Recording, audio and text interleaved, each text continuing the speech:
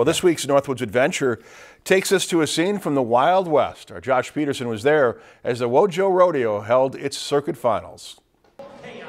From riding a bucking bronco to calf roping, fans came out to cheer on their local rodeo stars during the Wojo Rodeo Circuit Finals held inside Bemidji Sanford Center.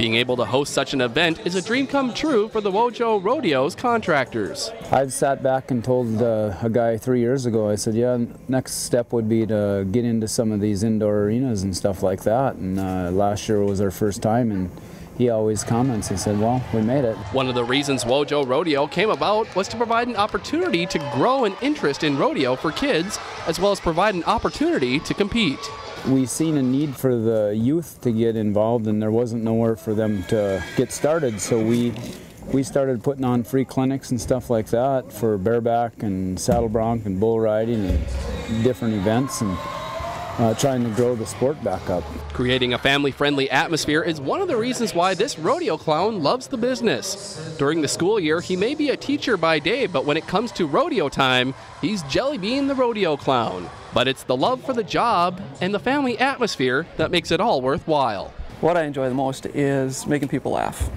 I love looking back at pictures of me being crazy or film and watching, you know, the whole stands just cracking up.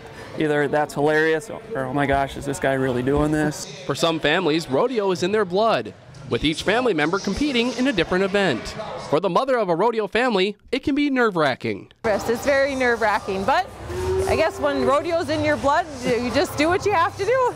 Even for one of the youngest members in a family, favorite rodeo events have already been chosen. Um, riding in the rodeo. Keeping the spirit of not only rodeo alive, but the spirit of America as well. With this week's Northwoods Adventure, in Bemidji, I'm Josh Peterson, Lakeland News.